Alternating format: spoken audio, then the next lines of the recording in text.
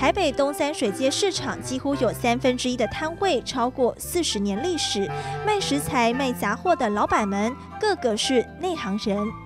炒丝的话，你就切这样子，横的。猪肉火锅以后，猪肉火锅你不要太切太小，啊，不要太烫过，就不会油腻。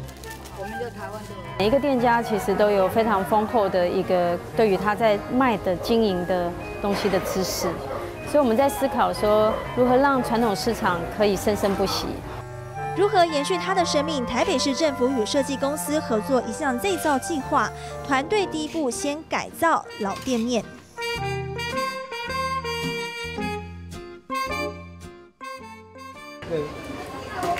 白铁，来对东西那个 stainless，上面上面也都是 stainless，啊，这样子再贴上木板。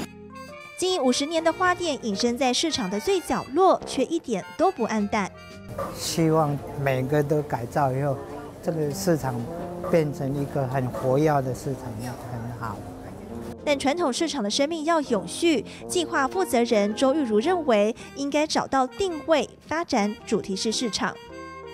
万华区有非超过百年的庙宇，就是好几家。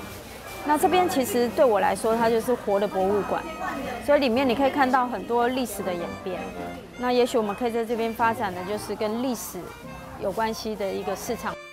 从国际例子来看，日本秋田公有市场曾经面临大量空摊，后来他们将剩余的空间改造成公共活动场域，开发更多可能，最后甚至还有婚纱店进驻。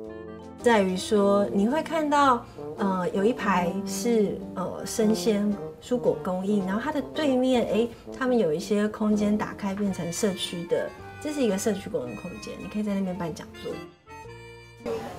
我跟你讲，这果粉遮济，甜搁好食嘞。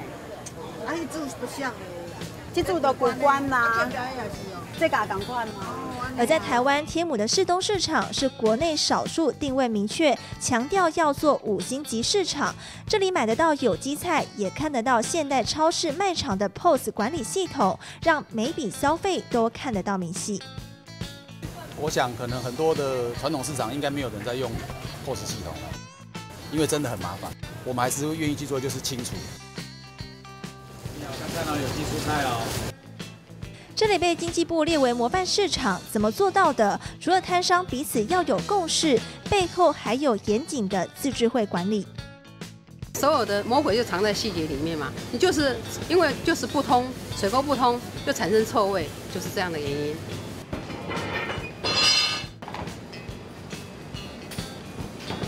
每天打烊后，市场里每一条水沟都要清理，小吃部的通风滤网也是天天更换，而市场产生的大量垃圾集中管理，都是我们的垃圾场哈，我们有做分类哈，我们的业者哈都是很自主，所以他们都自动会把摊位的诶那个垃圾拿到这边分类。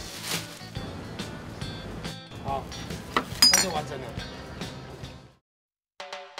知名作家刘克湘长期观察市场生态，他认为传统市场如果能克服卫生问题，拥有的优势远胜于超市卖场。